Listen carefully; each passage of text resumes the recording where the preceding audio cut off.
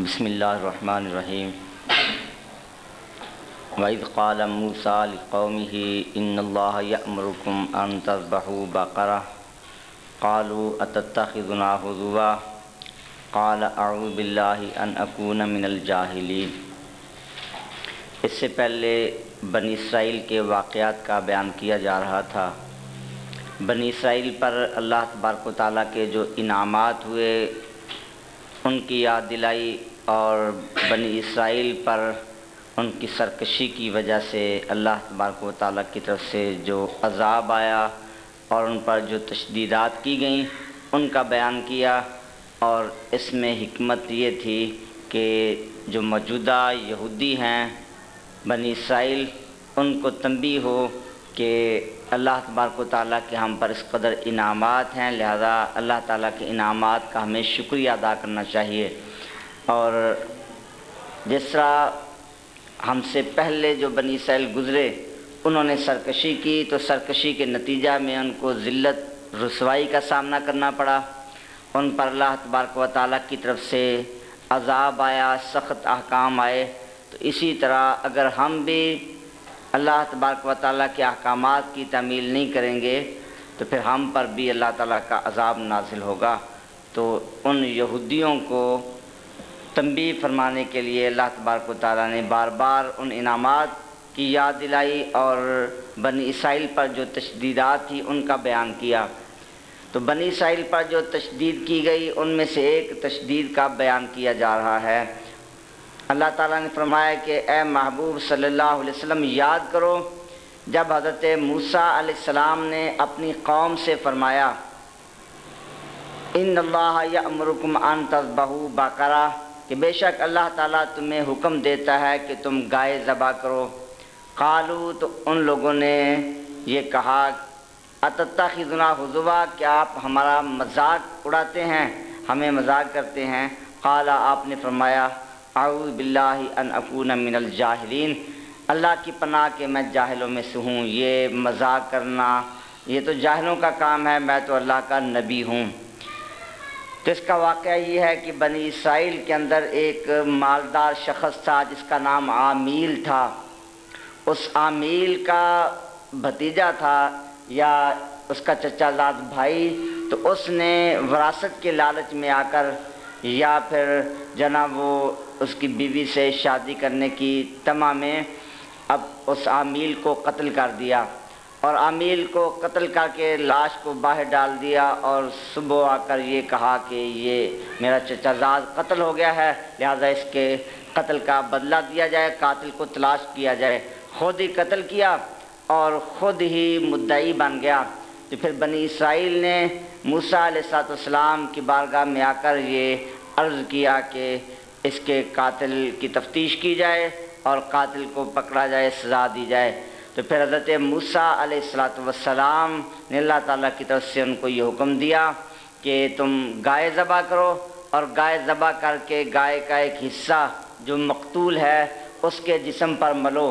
तो ये मकतूल ज़िंदा होगा और अल्लाह ताला के हुक्म से अपने कातिल का पता ख़ुद बताएगा। तो ये सारा वाक़ इसमें बयान किया गया। अब बनी इसराइल को जब ये हुक्म दिया कि तुम गाय ज़बा करो तो फिर चाहिए तो ये था कि वो कोई सी भी गाय ज़बा कर देते, हुक्म पर तामील हो जाती, हुक्म की तामील होती। लेकिन बनी इसराइल जो है, उन्होंने आगे से सवालात शुरू कर दिए। तो उसका कुरान मजीद में ज़िक्र किया गया, कालू उदना रब्बा का युबजिलना माही। उन्होंने मूसा से ये कहा कि, अपने रब से हमारे लिए दुआ कीजिए कि अल्लाह तबारक ताली हमें बताए, वाज फरमाए माहिया वो गाय कैसी है, जिस गाय को हमने ज़बा करना है, वो किस तरह की गाय होनी चाहिए। तो फिर हज़रत मूसा सलाम ने उनको अल्लाह का हुक्म बतलाया इन यकूलो इन नहा बाकरतुल्ला फ़ारिदन वला बिकर। हज़रत मूसा ने फरमाया कि अल्लाह ताला इरशाद फरमाता है कि वो गाय जो है, ला फ़ारिदन वला बिकर। बहुत ज़्यादा बूढ़ी ना हो, ज़्यादा उम्र की भी ना हो और बहुत कम उम्र की भी ना हो। अवान बे नज़ाल किसके दरमियान की ओर नसफ़। दरमियान की यानी ना ज़्यादा उम्र वाली और ना ज़्यादा कम उम्र हो, दरमियानी उम्र की हो। फ़ालू मात उमरून तो जिस बात का तुमको हुक्म दिया है, उस पर तुम अमल करो। तो ये हज़रत मूसा सलाम ने उनको अल्लाह का हुक्म सुनाया। कि दरमियानी उम्र की गाय लेकर वो ज़बा कर दो। अब भी यही था कि बनी इसराइल जो है ना, वो कोई भी दरमियानी किस्म की गाय, दरमियानी उम्र की गाय लेते, ज़बा कर देते, अल्लाह के हुक्म की तामील हो जाती, लेकिन उन्होंने आगे से फिर सवाल किया कालुदना रब्बा का युबजिलना मा लौनुहा। बनी इसराइल ने कहा, ए मूसा अल्लाह की बारगाह में हमारे लिए दुआ कीजिए अल्लाह तबारक ताली बयान फरमाए, मा लौनुहा, गाय का रंग कैसा है? वो किस रंग की गाय होनी चाहिए जिसको हम ज़बा करें? तो हज़रत मूसा ने फरमाया कि अल्लाह ताला इशाद फरमाता है इन नहा बाकरातुन सफ़राऊ फ़ाक़ा तसरनाजरीन कि वो गाय जर्द रंग की हो, उसका रंग चमकदार जर्द रंग हो, और वैसा जर्द रंग हो तसरनाजरीन के देखने वालों को खुश कर दे। चमकदार जर्द रंग की गाय जो है, वो लाएँ और वो ज़बा करें। लेकिन बनी साहिल जो ना, उनकी अब भी तसली नहीं हुई, अब भी इतमान नहीं हुआ। उन्होंने फिर सवाल कर दिया कालना रब्बा का युबजिलना माहिया इन अलबकर तशाबा लेना उन्होंने कहा कि अपने रब से हमारे लिए दुआ कीजिए। अल्लाह ताला फरमाए बयान फरमाए कि वो गाय कैसी होनी चाहिए।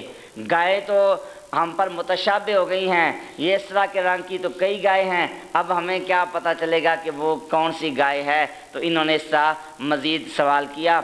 व इन्ना इन शाहतदून बेशक अगर अल्लाह ने चाहा तो हमें हिदायत हासिल होगी। हमें सही पता चल जाएगा कि वो गाय कैसी होनी चाहिए। तो हज़रत मूसा ने फरमाया कि अल्लाह ताला इशाद फरमाता है इन नहा बाक़ातुल्ला जलूल तसीर अर्दा। वला तस्किल हर्ष कि वो गाय ऐसी हो कि जिससे कोई काम न लिया गया हो और उसने ज़मीन में हल न चलाया हो। और खेती को पानी न दिया हो। वो खेती को पानी देने के लिए बैल गाय इस्तेमाल की जाती थी पुराने दौर में। इसी तरह हल चलाने के लिए तो फरमाया कि वो गाय इस तरह की हो कि खेती बाड़ी के काम में इसको इस्तेमाल न किया हो और उससे कोई खिदमत ना ली गई हो। ला मुसलमतन ला शफ़ीहा वो बेऐब हो, उसमें कोई दाग वगैरह ना हो। तो बिल्कुल बेऐब दाग से पाक गाय हो और किसी खिदमत के लिए इस्तेमाल न की गई हो। ये सारी सिफात हों। कालू अल आना जिता बिलहक। उन्होंने कहा, अब आपने ठीक बात कही है। अब गाय की जन, वो मुकम्मल सिफात बयान कर दी हैं। फ़ज़ा व वमा कादू या फ़ालून तो उन्होंने गाय ज़बा कर दी। करीब था कि वो ये हुक्म पर अमल ना करते। यानी वो ऐसा बार बार सवाल कर रहे थे तो वो इस हुक्म की तमील करते हुए नज़र नहीं आ रहे थे। तो बिल आखिर उनको ये बयान किया गया। फिर उन्होंने ऐसी गाय तलाश की और उस गाय को ज़बा कर दिया। तो इन्होंने बार बार सवाल किए तो मुश्किल में पड़ गए और ऐसी गाय का मिलना जो वो मुश्किल हो गया। तो इससे एक मसला ये मालूम हुआ कि अम्बिया कराम आलम उनके सामने बार बार सवाल करना ये मुनासिब नहीं है। नबी पाक सल्लल्लाहु अलैहि वसल्लम, आप आखिरी हज के मौके पर जब वो हज के अहकाम बयान फरमा रहे थे। एक सहाबी हज़रत अकरा बिन हाबिस रजील्ला हो वो खड़े हुए और अर्ज़ किया, या अलैहि वसल्लम, क्या हज हर साल फ़र्ज़ है? नबी पाक सल्लल्लाहु अलैहि वसल्लम आप खामोश रहे, जवाब न दिया। साहबी फिर खड़े हुए और उन्होंने फिर सवाल किया, हजूर, क्या हज हर साल फ़र्ज़ है? तो नबी पाक सल्लल्लाहु अलैहि वसल्लम आप फिर खामोश रहे। उन्होंने फिर सवाल किया कि, हजूर, आया हज हर साल फ़र्ज़ है? तो नबी पाक सल्लल्लाहु अलैहि वसल्लम, आप जलाल में आ गए और आपने फरमाया कि मुझसे ज़्यादा सवाल ना किया करो। तुमसे पहली कौम में ज़्यादा सवाल करने की वजह से हलाक हुई, वो अपने अम्बिया से ज़्यादा सवाल करती थी तो इस वजह से वो हलाक हो गई। तो फरमाया, ज़्यादा सवाल ना किया करो। फरमाया कि अगर जो है वो मैं हाँ कह देता तो हज जो है ना वो हर साल फ़र्ज़ हो जाता। वो तसलमा आपने इशाद फरमाया कि मुझसे ज़्यादा सवाल न किया करो, क्योंकि पहले लोग अपने अम्बिया कराम से ज़्यादा सवाल करते थे, इसलिए वो हलाक हुए। तो फरमाया कि अगर मैं हाँ कह देता, हज हर साल फ़र्ज़ हो जाता। तो इससे ये भी मालूम हुआ कि अल्लाह तबारक व ताली ने नबी पाक अलैहि वसल्लम को अहकाम तशिया में इख्तियार दिए कि आप की ज़बान से जो हुक्म निकले तो वो शरीयत का हुक्म बन जाता है। और अहादीस में इसकी बहुत सी मिसालें मौजूद हैं कि नबी पाक सल्लल्लाहु अलैहि वसल्लम, आपने अपने खसूसी इख्तियार का इस्तेमाल फरमाया। एक शख्स ने आकर अर्ज़ किया कि मैं इस्लाम कबूल करूँगा। इस शर्त पर कि मैं सिर्फ़ दो नमाज़ें अदा करूँगा तो नबी पाक सल्लल्लाहु अलैहि वसल्लम ने उसकी उस शर्त को कबूल फरमा लिया। इसी तरह हज़रत उम इतिया तहा उन्होंने नबी पाक सल्लल्लाहु अलैहि वसल्लम की बारगाह में अर्ज़ किया, आपने वो रोने पीटने से मना किया है, बैन करने से मना किया है तो उन्होंने अर्ज़ किया कि हजूर ज़माना जाहलीत में फ़लाँ कबीले वाले, वो हमारे मुर्दों पर उन्होंने बैन किया तो अब मैंने भी अपनी बारी उतारनी है तो मुझे इजाज़त दी जाए। नबी पाक सल्लल्लाहु अलैहि वसल्लम ने फरमाया कि तेरे लिए जायज़ है, किसी और के लिए जायज़ नहीं। आपने उनको इजाज़त अता फरमाई। एक सहाबी थे, उन्होंने अर्ज़ की यारसोल्ला सल्लल्लाहु अलैहि वसल्लम, मेरे पास तो सिर्फ़ छः माह का बकरी का बच्चा है कुर्बानी के लिए तो मुझे इजाज़त दीजिए। नबी पाक सलाम ने फरमाया कि तेरे लिए जायज़ है, तुझे किफ़ायत कर जाएगा, तेरे बाद किसी के लिए जायज़ नहीं है। हज़रत अलीमरतज़ा रदील्ला तन हो आपके निकाह में हज़रत सईदा फ़ातमतज़हरा रदील्ला तहा थी। अबू जहल के ख़ानदान वालों में से आप की तरफ़ निकाह का पैगाम आया, किसी लड़की के निकाह का पैगाम, नबी पाक सल्लल्लाहु अलैहि वसल्लम को ये ख़बर पहुँची तो आपने खुतबा इरशाद फरमाया और आपने फरमाया कि जब तक मेरी बेटी फ़ातिमा अली के निकाह में है, अली के लिए जायज़ नहीं, कोई और निकाह करे। हाँ अगर अली ने निकाह करना है तो मेरी बेटी फ़ातिमा को तलाक दे। अल्लाह के हबीब, अल्लाह के दुश्मन की बेटी एक जगह जमा नहीं हो सकती। तो हज़रत अली अलमतज़ार रदील्ला तन हो आपको नबी पाक सल्लल्लाहु अलैहि वसल्लम ने दूसरी शादी की इजाज़त न दी। सईदा फ़ातमत जहरा रदील्ला तह की मौजूदगी में, हालाँकि कुरान मजीद का हुक्म है, फ़न के हु मातबलकुम मिनसाई मसना वसलासा वरुबा इसी तरह नबी पाक सल्लल्लाहु अलैहि वसल्लम ने हज़रत सैदना मुर्तज़ा रदील्ला तु को फरमाया कि जनाबत की हालत में किसी के लिए मस्जिद में दाखिल होना जायज़ नहीं है। लेकिन ए अली, मेरे और तेरे सिवा, मेरे और तेरे सिवा किसी और के लिए जनाबत की हालत में इस मस्जिद में दाखिल होना जायज़ नहीं। तो ये हुक्म आम है सब के लिए, लेकिन नबी पाक सल्लल्लाहु अलैहि वसल्लम आप इससे इस्तना फरमा रहे हैं। तो इसकी बहुत ज़्यादा मिसालें हैं। नबी पाक सल्लल्लाहु अलैहि वसल्लम को अल्लाह तबारक व ताली ने इख्तियार अता फरमाए, बेइख्तियार नहीं हैं। अल्लाह का इशाद है फ़ला व का ला युमिनून हत्ता युहक्मूक ए महबूब, तुम्हारे रब की कसम, ये लोग उस वक्त तक ईमानदार नहीं हो सकते, जब तक कि आपको हाकिम न मान लें।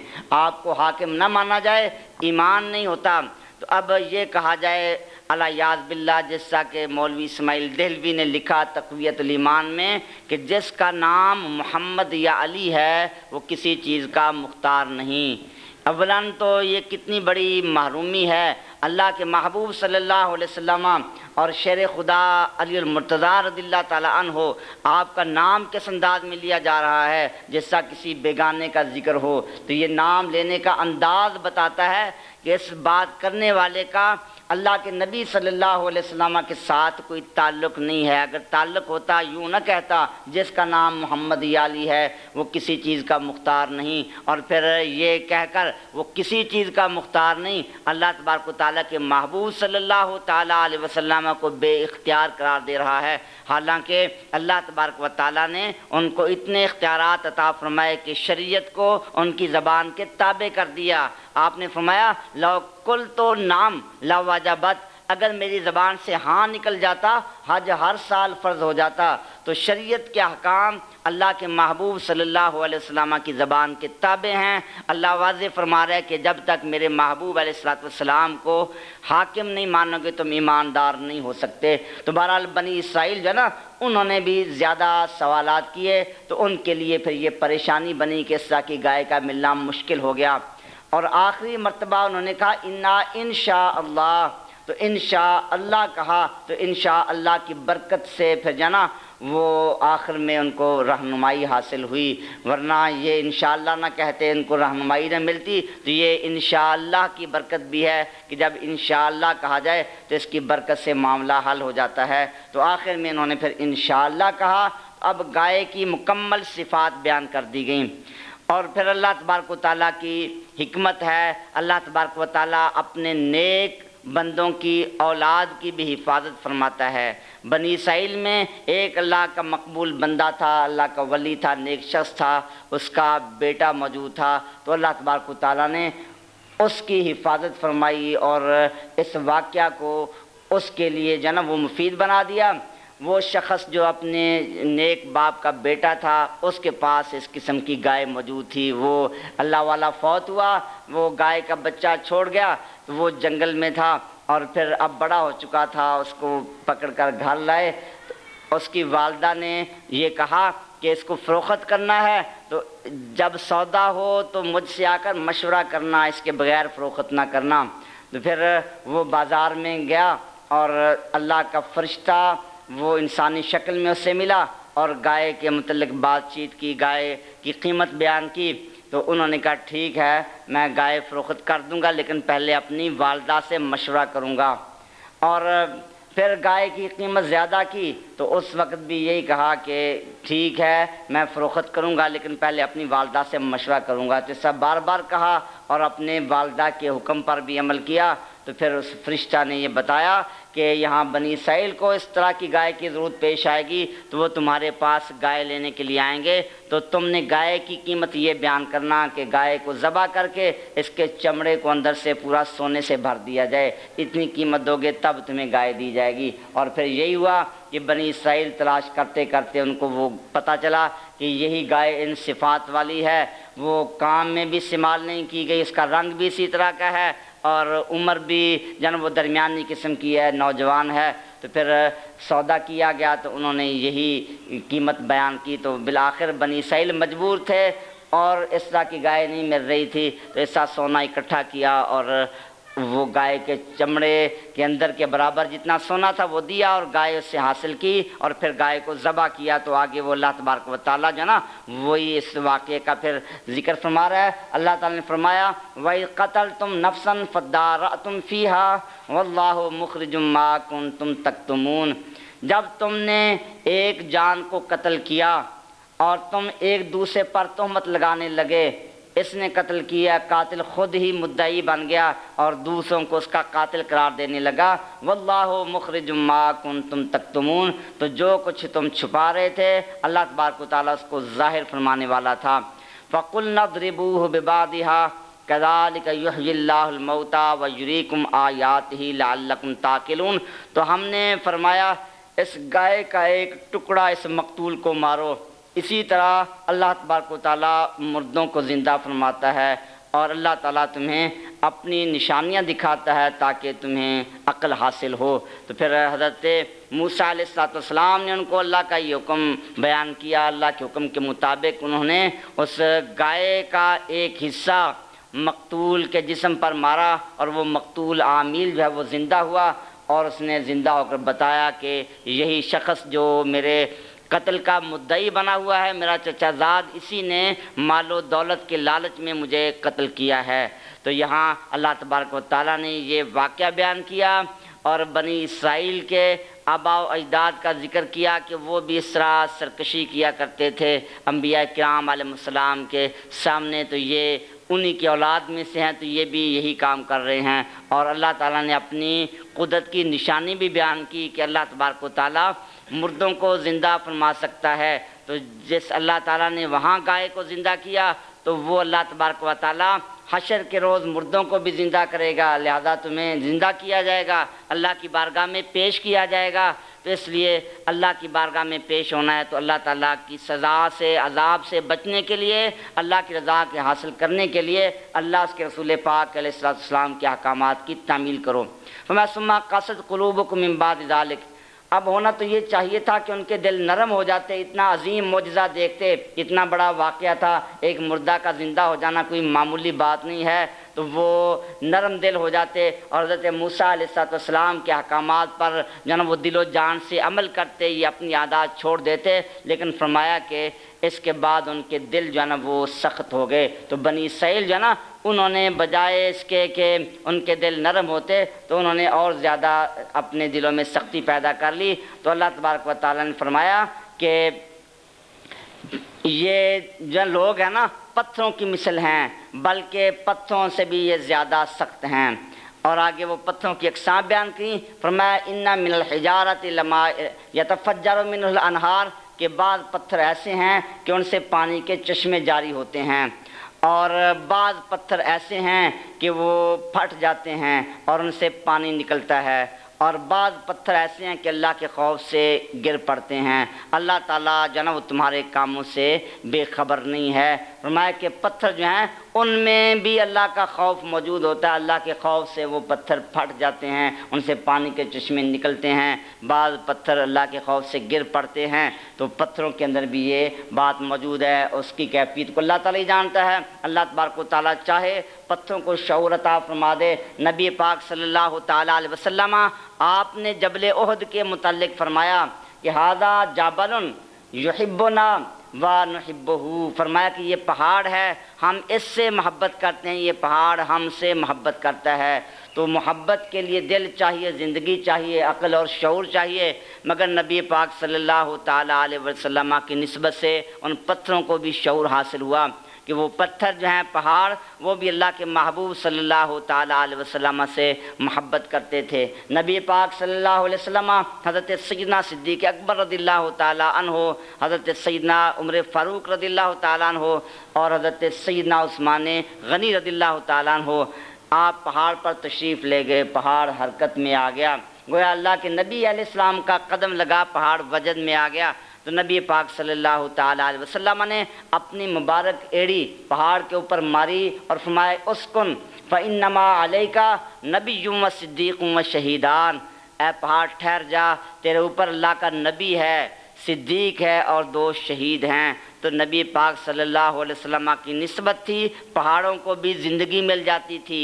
आपका कलाम सुनते थे, आपकी इतात करते थे और फिर अल्लाह के महबूब गैब की खबर दे रहे हैं। तो जिस पर दो शहीद हैं। उन्होंने शहीद तो बाद में होना था, हज़रत उमर फ़ारूक रदील्ला तन हो हज़रत उस्मान गनी रदील्ला तन हो लेकिन नबी पाक सल्लल्लाहु अलैहि वसल्लम पहले से खबर दे रहे हैं। तो अल्लाह ने फरमाया कि पत्थर में भी ऐसी बातें पाई जाती हैं, लेकिन वो तो पत्थरों से भी बढ़ गए और उनके दिल इतने सख्त हो गए कि इतना अजीम मुजजा देकर भी वो ईमान न लाए।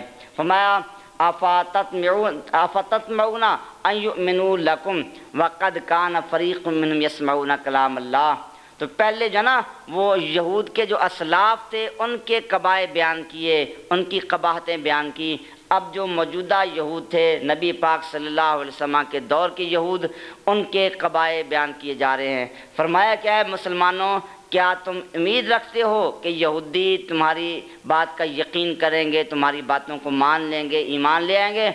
हालाँकि इनमें से एक गिरोह अल्लाह का कलाम सुनता था। सुम्मा युहर्रफून मिम्बाद मा अकलू हो वहम यालमून। फिर जान बूझ कर वो अल्लाह के कलाम में तब्दीली कर देते थे। फरमाया कि इनके बड़ों का तरीका ये रहा, वो भी अल्लाह का कलाम सुनते थे और फिर तब्दीली कर देते थे। ये जो फरमाया ना कि इनका एक गिरोह अल्लाह का कलाम सुनता है, फिर तब्दीली कर देता है, इसकी तफसीर में दो कौल बयान किए गए। एक कौल तो ये कि ये उन बनी साइल का ज़िक्र है जिनको हज़रत मूसा अपने साथ ले गए। उन्होंने अल्लाह का कलाम सुना, लेकिन वापस आकर उसमें तब्दीली कर दी और कौम को उसमें मिलाकर अपनी तरफ़ से बातें बयान की। उनका ज़िक्र किया जा रहा है कि उन्होंने अल्लाह के कलाम में तहरीफ़ की, तब्दीली की और ज़्यादा तहकीकी कौल ये है कि नबी पाक सल्लल्लाहु अलैहि वसल्लम के दौर वाले यहूदी मुराद हैं कि वो किताब के आलिम थे, तौरात के आलिम थे। तौरात के अहकाम को वो बदल दिया करते थे। रिश्वत लेकर, पैसा लेकर अपने मफाद की खातिर तब्दीली करते थे। तौरात में नबी पाक सल्लल्लाहु अलैहि वसल्लम की नातों का बयान था, आपकी सिफ़ात का बयान था, वो कौम से छुपाते थे, तारीफ़ करते थे। तो उनका ज़िक्र किया, फरमाया इनसे ईमान की उम्मीद नहीं रखी जा सकती, ये ईमान लाने वाले नहीं हैं। इनकी हालत ही है, वैदा आ मनु ये इनकी दूसरी कभी आदत का बयान किया जा रहा है। एक पहले आदत बयान की, अब दूसरी आदत। कि इनकी ये आदत है कि जब ईमान वालों से मिलते हैं कालू आ मन्ना तो कहते हम ईमान लाए। ये यहूदियों में जो मुनाफिकीन थे, उनका ये तरीका था। और जब आपस में एक दूसरे के साथ अलहदा होते हैं इरा खला बाद। इलाहाबाद जब आपस में एक दूसरे के साथ तनहा होते हैं, खलबत में होते हैं तो फिर ये कहते हैं आ तो हद सूना बेमा फ़तः कि जो बातें अल्लाह ने तुम पर खोल दी हैं, वो तुम मुसलमानों को क्यों बताते हो?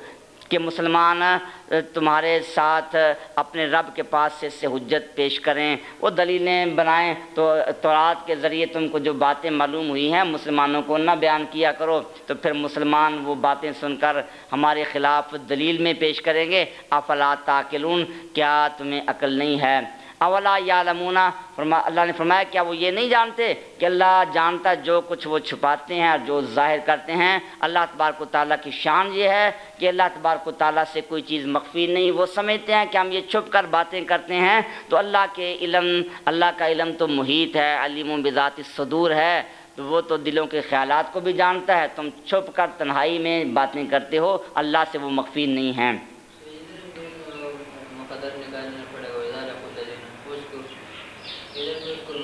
हाँ किस जगह? कर नहीं, वो इज़ पर है इज़ा में, ये तो इज़ा है ना? हाँ हाँ वो इज़ में है हाँ। बाद का सालीलिया भी होता है। उस जगह तो नहीं, हर जगह नहीं। अवला आगे जन्म वल्ला तबारक ताला उन यहूदियों के गिरोहों का बयान कर रहा है, उनकी कबाए बयान किए, उनके गिरोहों का बयान किया जा रहा है। फरमामिन किताबा अमानिया। इनमें से कुछ यहूदी ऐसे अनपढ़ हैं, वो किताब को नहीं जानते, सिर्फ़ ज़बानी पढ़ते हैं। और कुछ ऐसे हैं, वो सिर्फ़ गुमानात में हैं, ख्याल में हैं। फ़वैलदीन यकतबूल किताबा बेदीम तो इन लोगों के लिए हलाकत है, जो अपनी हाथ से किताब लिखते हैं, फिर कहते हैं, ये अल्लाह के पास से है, ताकि इसके इवज़ थोड़ी कीमत हासिल करें। और उनके लिए हलाकत है। से जो उनके हाथों ने लिखा और उनके लिए हलाकत है। उस चीज़ से जो उन्होंने कमाया, इसके बदले कमाई हासिल की। तो ये यहूदियों के इसमें मुख्तलिफ़ गिरोह बयान किए। एक गिरोह ऐसा है कि ख़ुद भी गुमराह है और दूसरों को भी गुमराह करता है। यानी अल्लाह की आयात में तारीफ़ करते हैं, उसके बदले कीमत लेकर, रिश्वत लेकर तारीफ़ करते हैं। और इनमें एक गिरोह मुनाफिकीन का है। एक गिरोह मुनाफिकीन से झगड़ा करने वाले हैं। एक गिरोह हैं महज अनपढ़, महज मुकलद हैं। और वो जिस साधु से यहूदी आलिम बात करते हैं उन्हीं की बात की इतबा करते हैं, वो अपने इसी गुमान में रहते हैं, ख़ुद पढ़े लिखे नहीं हैं। तो ऐसा यहूदियों में ये मुख्तलिफ़ गिरोह थे और इसी तरह इमाम राज़ी रहमत ने तफसीर, जहाँ तफसीर कबीर में लिखा कि मुसलमानों में भी इसी तरह जो मुनाफिकीन के किस्म के लोग हैं और उम्मत के मुख्तलिफ़ फ़िरके हैं, उनमें ये सब तरह के लोग पाए जाते हैं। कोई लानिया अपनी बात का इजहार करते हैं, कोई छुप कर जन वो ऊपर से अपने आप को मुसले ज़ाहिर करते हैं, लेकिन दर हकीकत वो फसाद फैलाने वाले हैं। तो इन मुख्तलिफ़ फ़िरक़ों में भी ऐसा के सारे गिरोह मौजूद हैं। और फिर यहूदियों के अल्लाह कबाए बयान कर रहा था तो उनकी एक कभी आदत बयान की, फरमाया, कालू, वो ये कहते हैं लान तमसन नार मादूदा। हरगज़ हमको आग नहीं छुएगी, सिर्फ़ गिनती के चंद दिन। वो कहते हैं कि जहन्नम में हम जाएँगे, लेकिन सिर्फ़ चंद दिन के लिए अगर अजाब होगा तो वो कहते थे कि चालीस दिन बछड़े की पूजा की बनी साइल में तो वो चालीस दिन जो ना, हम जहन्नम में रहेंगे। या ये कहते थे कि दुनिया की उम्र सात हज़ार साल है, और हर हज़ार साल के बदले एक दिन तो सात दिन हम जहन्नम में रहेंगे। तो इस तरह की जन्म ला यानी बातें करते थे। अल्लाह ताला ने फरमाया कुल अत्ताखन ए महबूब, तुम फरमाओ, क्या अल्लाह ने तुमसे कोई वादा किया है कि अल्लाह उस वादे की खिलाफ वर्जी नहीं करेगा? या अल्लाह पर तुम ऐसी बात कर रहे हो जो तुम नहीं जानते? तुम्हें कैसे पता चला कि अल्लाह ताला तुम्हें सिर्फ़ सात दिन अजाब देगा या चालीस दिन अजाब देगा? तो ऐसा की बातें तुम कर रहे हो। क्या तुम्हारा अल्लाह से कोई वादा हुआ है?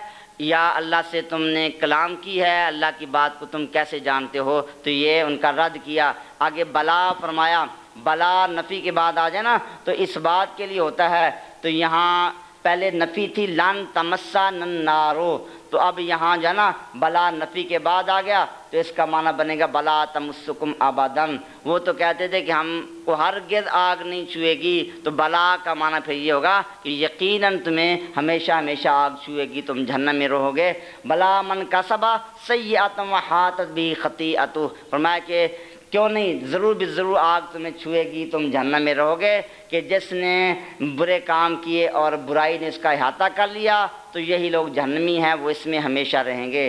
तो ये पहले बयान किया कि अल्लाह रब्ज़त की आदत करीमा है, जहाँ वईद हो साथ वादे का ज़िक्र है। जहाँ वादा हो साथ वईद का ज़िक्र है। तो वईद के बाद वादे का ज़िक्र ताकि अल्लाह की शान अदल का इजहार हो।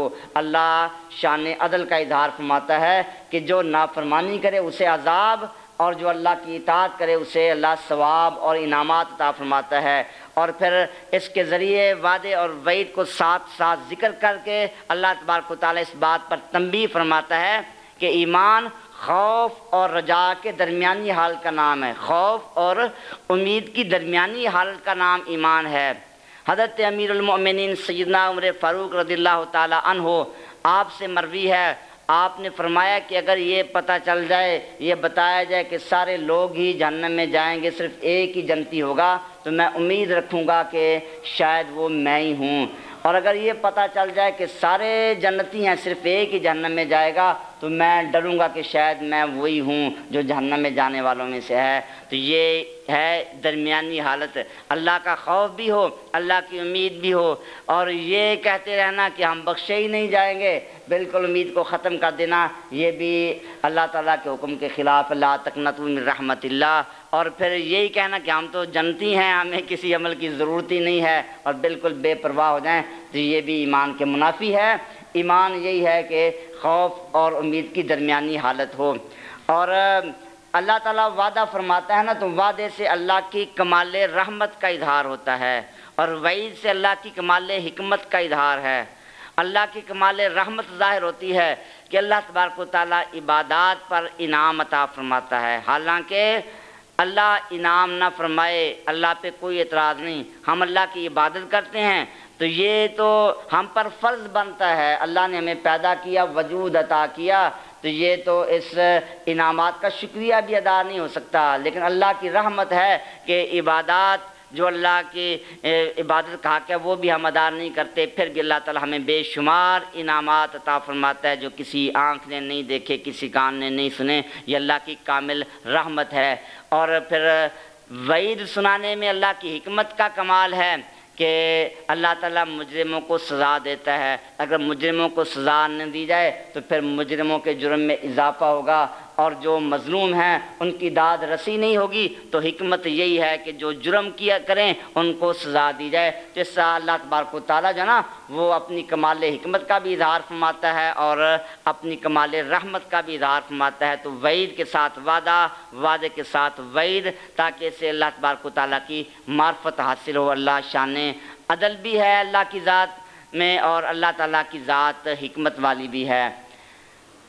तो अल्लाह ने ये वादा बयान किया कि जो लोग ईमान लाएँगे, नेक काम करेंगे तो वही लोग जनती हैं, वो उसमें हमेशा रहेंगे।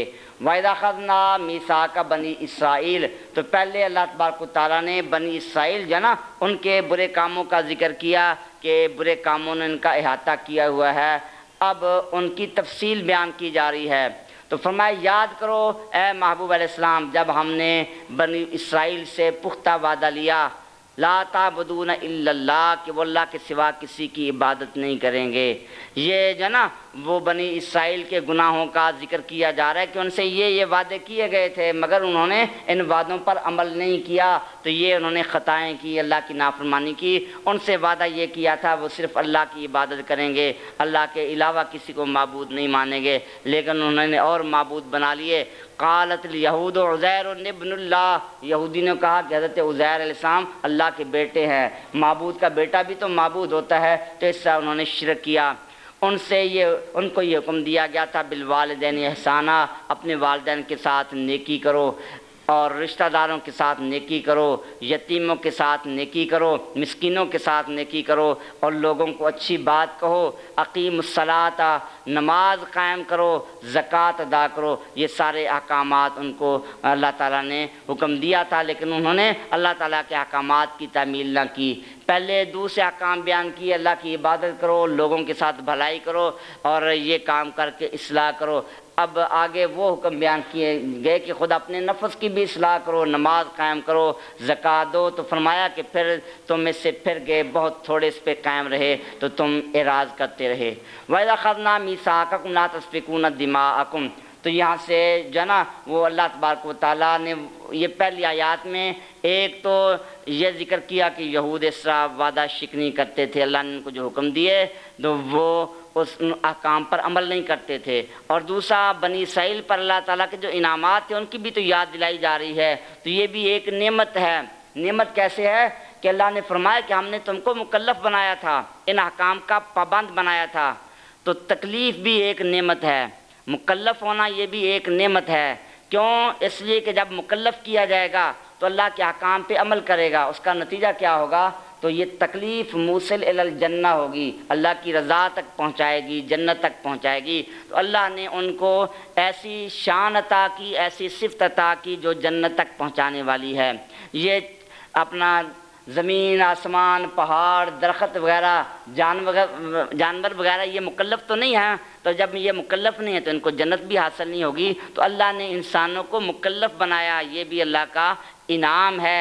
इंसान को अल्लाह ने तकलीफ़ के लिए मंतखब फरमाया। अल्लाह का इशाद ना, इन्ना अर्दल अमानता अलसमावात वल अर्द वल जबाल फ़ाबई ना यह मिलनहा वाशफ़ना मिनहा व हमल इंसान इन काना जहूला। अल्लाह ने अपनी अमानत को ज़मीनों पर, आसमान पर पेश किया, पहाड़ों पर पेश किया, मगर उन्होंने इसको उठाने से इनकार कर दिया। अल्लाह ये अमानत, तकलीफ़ वाली अमानत हम नहीं उठा सकते, हम तो कमज़ोर हैं। अल्लाह ने फरमाया कि इंसान आगे बढ़ा। उसने कहा कि मैं इस अमानत को उठाता हूँ। फरमाया, काना ज़लूमन जहूला। इंसान बड़ा ालिम जाहिल था। तो अल्लाह ताला की इतनी बड़ी ज़िम्मेदारी को इसने उठा लिया। तो अब ज़िम्मेदारी जब उठाई, तकलीफ़ भी है। और इस तकलीफ़ का नतीजा अगर मिलेगा तो वो अजीम होगा। अल्लाह के इनामात हासिल होंगे। लेकिन जब वादा करके ख़ुद ज़िम्मेदारी उठाई फिर इस ज़िम्मेदारी को पूरा नहीं करेगा तो फिर अल्लाह का अजाब भी सख्त है, क्योंकि अल्लाह का इशाद है ना ला इन शकर तुम लाजीद नकुम वाला इन कफ़र तुम पैना अजाबी लशदीद। अगर मेरी नियमतों का शुक्र करोगे, मैं और ज़्यादा दूँगा। अल्लाह ने नियमतें तकलीफ़ अता की, ये शुक नियमत है, इसका शुक्रिया क्या है? कि उन अहकाम पर अमल किया जाए? तो जब अमल करेंगे, फिर नियमतें कैसी मिलेंगी कि नबी करीम सामने फरमाया, वो जन्नत की नियमतें ऐसी हैं, किसी आँख ने उनको देखा नहीं, किसी कान ने उनके मतलब सुना नहीं है तो फिर ऐसी नियमतें अता की जाएँगी। लेकिन अगर, जो है, इन नियमतों का शुक्र अदा न किया और अल्लाह के अकाम पर अमल न किया तो फिर सज़ा क्या होगी? हम फ़ी हा खालिदून, उसमें हमेशा हमेशा रहेंगे। तो ये अबदी अजाब होगा, उस अजाब से कभी निजात हासिल नहीं होगी। अल्लाह तबारक ताली अपनी नियमतों के शुक्रिया की तोफ़ी अता फरमाए और अल्लाह तबारक ताली हमें अपने इनामात अता फरमाए। उन लोगों में अल्लाह ताला हमारा शुमार करे कि जिनको बिला हिसाब नबी पाक समा की उम्मत में से जिनको बिला हिसाब जन्नत में दाखिल किया जाएगा। क्योंकि अगर अमाल को देखा जाए तो हमारे अमाल तो इस लायक नहीं हैं। ये नबी पाक सामने फरमाया, जैसे हिसाब में तफ्तीश की गई ना, वो हलाक हो जाएगा। हिसाब में अगर तफ्तीश हो गई तो फिर निजात की सूरत नहीं है।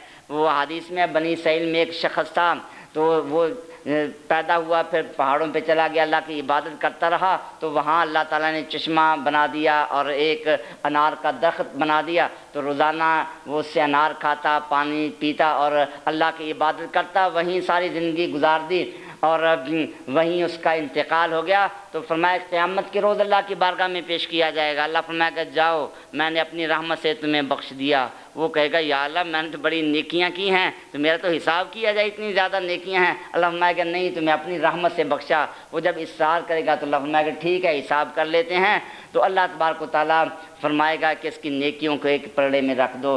वो इसको अनार वाली नेमतें दी थी, वो एक पलड़े में रखो तो वो नेमतें जो ना, वो ज़्यादा हो जाएँगी, नेकियाँ कम हो जाएँगी। अल्लाह फरमाएगा, इसको जहन्नम में ले जाओ। ये तो मेरे इनामात का शुक्रिया अदा नहीं कर सका, हक नहीं अदा कर सका। तो फिर वो अर्ज़ करेगा कि लामीन मुझे माफ़ किया जाए तो अपनी रहमत से मुझे जन्नत में दाखिल किया जाए। तो ये है कि अल्लाह की रहमत से ही जन्नत मिलेगी।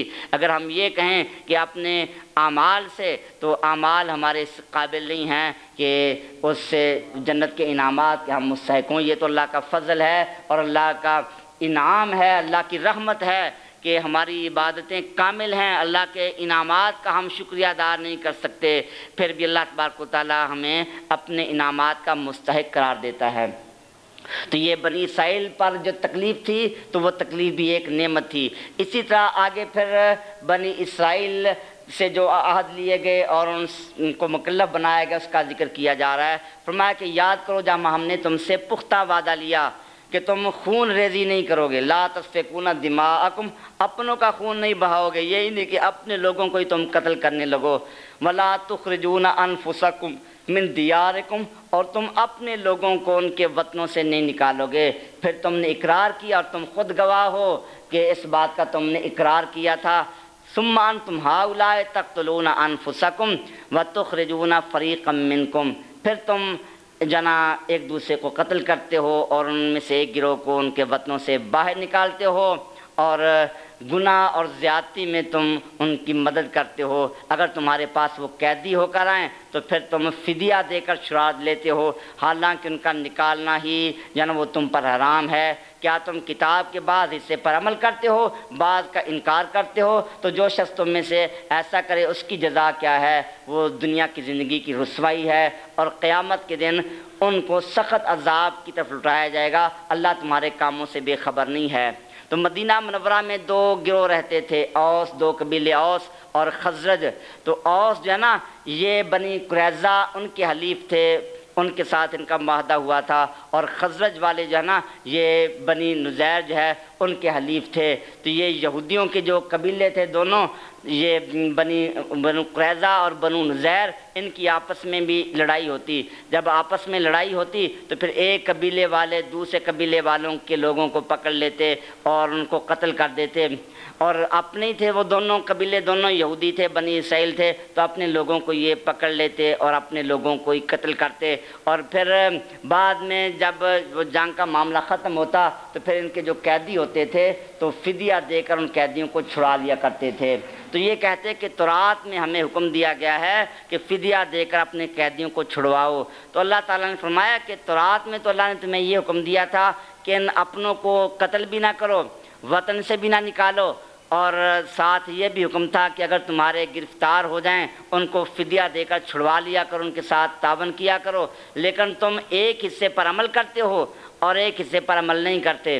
पहले तो तुम खुद ही उनको कत्ल करते हो और उनको वतन से निकालते हो, उस वक़्त तुम्हें तुरात का हुक्म याद नहीं आता और फिर बाद में कहते हो कि ये तो तुरात का हुक्म है हम यहूदियों के लिए, लिहाजा फिदिया देकर तुम उनको छुड़वा लेते हो तो तुम पूरी तुरात पर अमल नहीं करते। तो अमल तो यही है कि अल्लाह के हकाम पर मुकम्मल अमल किया जाए, ये नहीं कि जो अपनी मर्ज़ी का हो उस पर अमल कर ले और जो मर्ज़ी के मुताबिक ना हो उस पर अमल ना किया जाए। वो वालदा ने जो ना बच्चे को कड़वी दवा दी और वो सेब के मुरबे में गोली जब वो छुपा कर दे दी तो बच्चे को कहा, खा लो। तो बच्चे ने खाया, बा वालदा ने पूछा कि वो खा लिए जो आपको चीज़ दी थी तो उसने कहा कि हाँ वो जो आपने चीज़ दी थी वो खा ली और उसके अंदर जो गुठली थी वो मैंने निकाल कर फेंक दी है। तो जो कड़वी चीज़ थी उसको फेंक दी और मीठी चीज़ जो है ना वो खा ली। तो ये तो नहीं कि जो अपनी मर्ज़ी के मुताबिक हो, वो इस्तेमाल कर लिया जाए और जो मर्ज़ी के ख़िलाफ़ हो, उस पर अमल ना किया जाए, फिर ये कहा जाए कि हम तो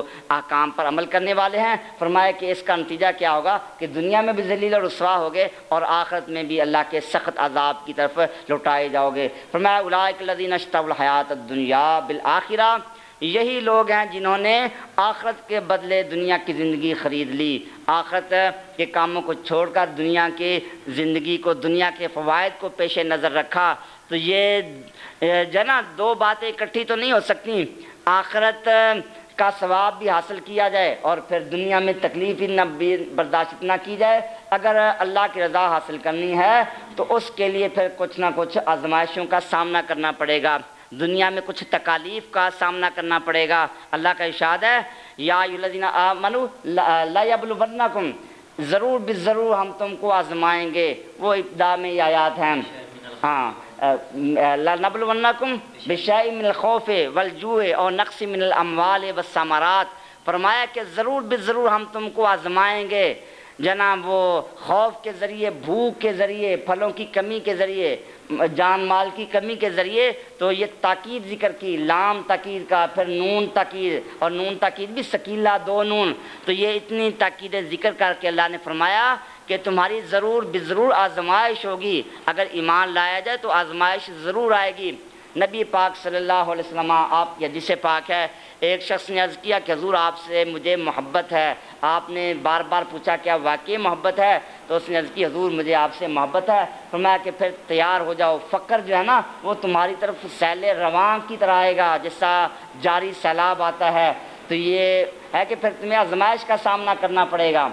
सैलाब आता ना तो आके गुजर जाता है। अगर उसका कोई मुकाबला करे तैरने वाला है, हिफाज करने वाला है तो फिर वो सैलाब आकर गुजर जाता है। तो ये सैलाब आएगा, मुकाबला करोगे, मुस्तकीम रहोगे तो फिर सैलाब तुम्हारा कुछ नहीं बिगाड़ सकेगा, ये आकर गुजर जाएगा, लेकिन आएगा ज़रूर। अगर ये कहो कि हम अल्लाह से दोस्ती भी करें और किसी आजमाइश का सामना भी ना करना पड़े, ये नहीं हो सकता। तो अल्लाह ने फरमाया कि तुम ये भी कहो कि दुनियावी अपनी अगराज ख्वाहिशात ये भी हासिल करें, अल्लाह की रज़ा भी हासिल करें तो ये दो काम नहीं हो सकते, लेकिन तुम हैं, तुमने तो ऐसा किया कि आखिरत पर दुनियावी ज़िंदगी को जो आर्जी थी, तरजीह दे दी, अल्लाह की रज़ा को हासिल ना किया, लिहाजा तुमसे अजाब हल्का नहीं किया जाएगा, तुम्हारी कोई मदद नहीं की जाएगी। तो ये यहूदियों के जो ना वो मुख्तलिफ़, अल्लाह तबारक ताली ने वाक़ात बयान किए वालक़द आतना मूसल किताब। यहाँ फिर वो यहूदियों पर हज़रत मूसम की कौम पर और बनी इसराइल पर जो अल्लाह के इनामात थे, इन मौजूदा यहूदियों के आबा अजदाद पर जो इनामात थे, उन्हीं का अल्लाह ज़िक्र कर रहा है। फरमाया कि हमने मूसम को किताब अता फरमाई और उनके बाद पै दर पै रसूल भेजे और हमने ईसा इबन मरियम को खुली निशानियाँ अता फरमाई और हमने रूहुल कुदस के साथ उनकी ताइद फरमाई। क्या ऐसा नहीं कि तुम्हारे पास जब भी कोई रसूल ऐसी बात लेकर आया जो तुम्हारी ख्वाहिश के ख़िलाफ़ थी तो तुमने तकबर किया। तुम में से एक फरीक ने तकजीब की और एक फरीक को तुमने जाना वो शहीद कर दिया। एक गिरोह को अम्बिया कराम के गिरोह को तुम शहीद करते थे। यहूदी ने कहा, हमारे दिलों पर तो पर्दे हैं, बल्कि अल्लाह ने उन पर लानत की है उनके कुफर की वजह से। तो इनमें से बहुत कम ईमान लाते हैं। तो ये अल्लाह ने इनामात ज़िक्र किए कि हमने लगातार मूसा के बाद लगातार मुसलसल रसुल इज़ाम अम्बिया कराम आसमाम भेजे, वो अल्लाह का हुक्म लेकर आए तो ये भी अल्लाह की बड़ी नेमत है। अल्लाह ने अपने अहकाम से रसूलों के ज़रिए आगे आगाह किया। हज़रत ईसाम तशरीफ़ लाइन को बड़ी बड़ी निशानियाँ दी तो ये भी अल्लाह की नेमत है कि मोजात दिए, ताकि तुम पे वाज हो जाए कि ये अल्लाह के सच्चे रसूल हैं और उनके अहकाम पर तुम अमल करो। फिर रूहुल कुदस के साथ उनकी तइद की, रूहुल कुदस के साथ हज़रत ईसा की अल्लाह ताला ने तायद की। रूहुल कुदस जो है ना, ये हज़रत जबरील सलाम का लकब है कि हज़रत जबरील सलाम वो हज़रत ईसा के साथ रहते थे, उनकी तायद फरमाते थे तो उनको रूहुल कुदस का लकब दिया गया। रूह जो है ना इससे जिसम में ज़िंदगी आती है, जिसम ज़िंदा होता है तो हज़रत जबरील सलाम अल्लाह की वही लेकर आते हैं। अल्लाह की वही के ज़रिए भी दीन की ज़िंदगी है। जिस तरह रूह हो तो दीन की ज़िंदगी है, वही जिसम की ज़िंदगी है। तो इसी तरह हज़रत जबरील अमीन आसमाम से जो ना वो दीन की ज़िंदगी थी, लिहाजा उनको रूहुल कुदस का नाम दिया गया। एक कौल के मुताबिक इंजील को रूहुल कुदस कहा गया। क्योंकि इंजील के ज़रिए भी दीन को ज़िंदगी मिली, लिहाजा इंजील को रूहुल कुदस कहा गया। एक और यह कि हज़रत सैदना ईसा रूहुल्ला अला नबीना वालम को रूहुल कुदस कहा गया। कुदस अल्लाह की ज़ात का नाम और रूहुल कुदस का माना रूहुल्ला अल्लाह की तरफ़ इजाफ़त, ये तशरीफ़ी इजाफ़त है। ये नहीं कि जैसा हमारा जिसम है, हमें कोई रूह दाखिल होती है तो अल्लाह तबारक ताली की ज़ात भी इसी तरह हो, वो इन चीज़ों से पाक है। तो इनकी रूह को अल्लाह के साथ ख़ास ताल्लुक़ है कि बाकी अरवा दुनिया में आई तो वो बाप के वास्ते से आई, लेकिन यहाँ बाप का वास्ता दरमियान में नहीं था तो इस खसूसियत की बिना पर इनकी अल्लाह ताला ने अपनी तरफ़ इजाफ़त की बतौर तशरीफ़। और फरमाया कि जब भी कोई रसूल तुम्हारे पास तुम्हारी ख्वाहिशात के ख़िलाफ़ हुक्म लेकर आया तुमने इनकार किया, उनकी तकजीब की और अम्बिया कराम को तुम शहीद करते रहे। सत्तर हज़ार अम्बिया कराम को बनी साहिल ने शहीद किया। एक दिन में सत्तर अम्बिया कराम को शहीद कर दिया जैसा ये अल्लाह के अम्बिया की तकजीब करते थे और उनको शहीद करते थे और उनको तकलीफ़ें पहुँचाते थे। तो ये बताया जा रहा कि ये यहूदी भी उन्हीं की औलाद हैं तो ये इनकी फितरी आदत है। अल्लाह के अम्बिया कराम की तकजीब करते हैं। आगे से मज़ाक उड़ाते थे, कहते थे, कलूबना गुल्फ, हमारे दिलों पर तो पर्दे हैं, हमें तो कुछ समझ नहीं आ सकता। तो अल्लाह ने फरमाया कि नहीं, बल्कि ये तुम पर अल्लाह की लानत है, तुम कुफर कर रहे हो, इस वजह से अल्लाह की तुम पर लानत है, इसलिए तुम्हें हक दिखाई नहीं देता। तो फरमाया कि इनमें बहुत कम लोग जो है वो ईमान लाते थे। फरमाया कि जब इनके पास अल्लाह की तरफ़ से किताब आई, जो इनके अहकाम, यानी तौरात की तस्दीक करने वाली है तो फिर, हालाँकि इससे पहले ये इस नबी सल्लल्लाहु अलैहि वसल्लम के वसीला से काफरों के ख़िलाफ़ दुआएँ मांगा करते थे। जब वो रसूल आए, जिनको इन्होंने पहचान लिया तो इन्होंने इनकार किया तो काफरों पर अल्लाह की लानत। तो अल्लाह ताला ने फरमाया कि यहूदी जो है ना, जब नबी पाक सलसमत तशरीफ़ नहीं लाए थे, इससे पहले यहूदियों का ये तरीका था, जब दुश्मनों के साथ लड़ाई होती उस लड़ाई में फ़तह की ये दुआ मांगते तो अल्लाह की बारगाह में ये दुआ किया करते थे अल्लाह मनसुरना अलहम बिन नबीजिल अमीन। अल्लाह बिन नबीजिल उम्मी अल्लाह, नबी उम्मी के वसीले से हमें इनके ख़िलाफ़ मदद अता फरमा। तो नबी पाक सल्लल्लाहु अलैहि वसल्लम की आमद से पहले, नबी पाक सल्लल्लाहु अलैहि वसल्लम के वसीला से ये कुफ़ार के ख़िलाफ़ दुआ मांगा करते थे, और नबी पाक सल्लल्लाहु अलैहि वसल्लम के वसीला से हाँ ये तफासिर में लिखा है बल्कि देवबंदी आज़ाद वो लेके नहीं आया तस्वीर कांदल भी उसमें भी लिखा है और भी दिगर तफासिर में ये बात मौजूद है, मुख्तलिफ़ अल्फाज हैं। एक लफ्ज़ ये भी है कि वो यूँ दुआ करते थे अल्लाह मनसुरना अलहम बिन नबी उम्मी तो तफासिर में इसके हवाले मौजूद हैं। वो तफसीर कांदल भी देखे ना, वो पढ़िए नीचे, मैं याद नहीं रही तो वो लेकर आया था। और इसी तरह जो ना, वो और किताबों में इसके हवाले तफसर दुर्र मंसूर में भी अल्लाह जलाल सयूती रहमत तफसर दुर्र मंसूर में वो ज़्यादा जना वो हादीस ही ज़िक्र किए हैं तफसीर में। दुर्र मंसूर बिखरे हुए मोती तो वो तफासिर को में अहादीस को जमा कर दिया। तो तफसर दुर्र मंसूर में भी है और भी तफासिर में। और तफसर भी जिल नंबर एक, सफ़ा नंबर तीन सौ, दो सौ तैंतीस पर ये बात मौजूद है। उसमें यह अल्लाहुमा रब्बना इन्ना नस का बेहक मोहम्मद नसा के कलिमात हैं। और फिर तफसर कबीर में है, वो यूँ कहते थे, अल्लाह मफ्ता अलना वन सुरना बिन नबी जी, तफसर कबीर में यूँ अल्फाज हैं, अल्लाह मफ्ता अलना वन सुरना बिन नबी अला हमें इन पर फतः ताफमा और नबी उम्मी की के वसीले से इन पर हमारी मदद फरमा। और फिर अदीस में भी नबी पाक सलसमा के वसीले से दुआ मांगने का हुक्म दिया गया। इबन माजा में हदीस पाक है, तिरमजी शरीफ में हदीस पाक है।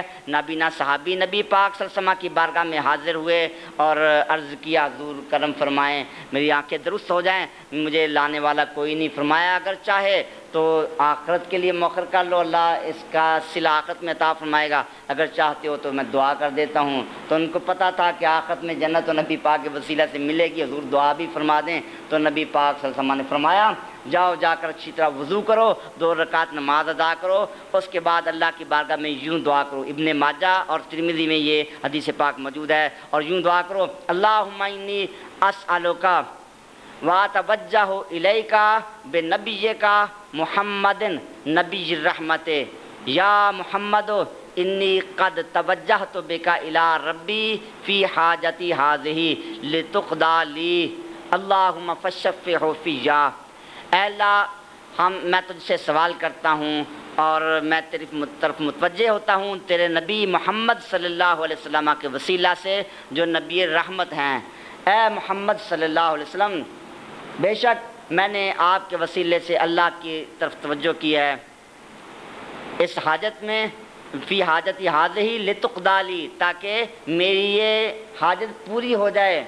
इमाम अहल सुनत ने फतावा रजविया में लिखा एक रिवायत, ये भी ज़िक्र की एक रिवायत में यह तक दिया ली, ताकि आप यारसुल्ला ताकि आप मेरी हाजत पूरी कर दें, आप मेरी हाजत रवाई कर दें। ये कलमा और उनके लिए जो ना, वो क़्यामत साबित है। कि जो नबी पाक सलसमा के ये इख्तियार आपके वसीले का इनकार करते हैं, आपको हाजत रवा नहीं मानते। अल्लाह के इधन से आप हाजत रवा हैं, अल्लाह के इधन से आप मुश्किल कुशाई करते हैं।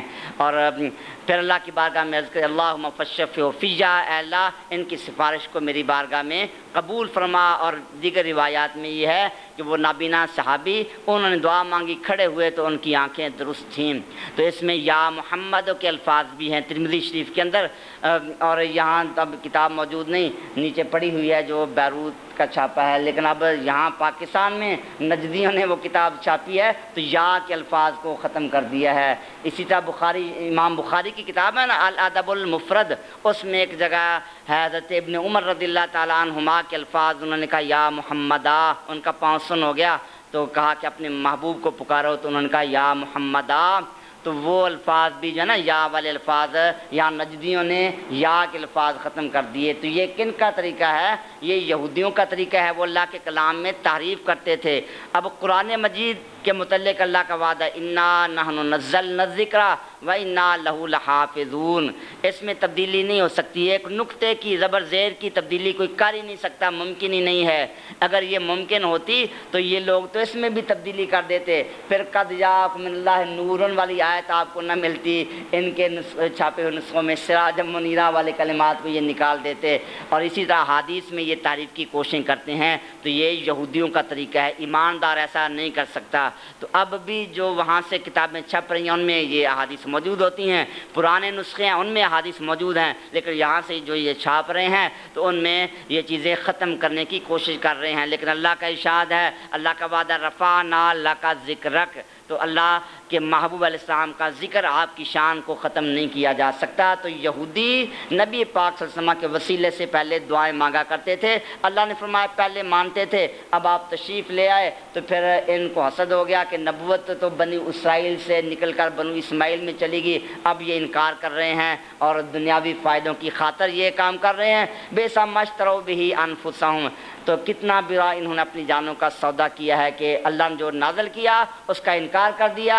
अल्लाह की नादल करदा, चीज़ से सरकशी करते हुए कि अल्लाह ताला अपने फजल से अपने बंदों में से जिस पर जो चीज़ चाहे नाजल फरमाता है। ये अल्लाह की मर्ज़ी है। पहले अल्लाह ने बनु इसराइल में नबूत को रखा। इतने ज़्यादा अम्बिया कराम बनु इसराइल में तशरीफ़ लाए। अब ये अल्लाह की हमत है, अल्लाह का फजल है। हज़रत इसमाईल की औलाद में अल्लाह ने नबी भेजा। एक ही नबी भेजा, मगर वो ऐसा नबी भेजा कि सारे अम्बिया कराम का सरदार उनको बनाया ख़ातमनबीन बनाया इमामसलिन बनाया। तो ये इनको हसद हो गया। तो हसद की वजह से ये ऐसा कर रहे हैं। फ़बाऊ बेगदब नला गदब। ये गदब दर गदब के मुस्तक हो गए। काफरों के लिए ज़िल्लत का अजाब है। और जब इनसे कहा जाए आ मिनू बिमा उन अनजल्लामिन बिमा उन ज़िलाना यहूदियों से जब ये कहा जाता है कि तुम ईमान लाओ जो अल्लाह ताला ने नाजल किया तो ये कहते हैं कि हम उसी पर ईमान लाते हैं जो हम पर नाजल किया गया। यानी हम सिर्फ़ तौरात पर ईमान लाते हैं, अल्लाह के कुरान पर ईमान नहीं लाते। तो अल्लाह तबारक ताली फिर इनका रद्द कर रहा है कि तुम्हें ये कहा जाता है, कुरान पर ईमान लाओ। तुम कहते हो, हम तो सिर्फ़ तौरात पर ईमान लाएँगे, इसके अलावा का वो इनकार करते हैं। हालाँकि कुरान तो हक है मुसद माह माहम। ये भी तौरात की तस्दीक करने वाला है। ये तौरात का मुसद्दक है। सबका अम्बिया कराम का मुसद्दक है। उनकी तस्दीक करता है। अब देखिए, जिनका ज़िक्र कुरान ने कर दिया, उन अम्बिया के नाम हमें मालूम हैं।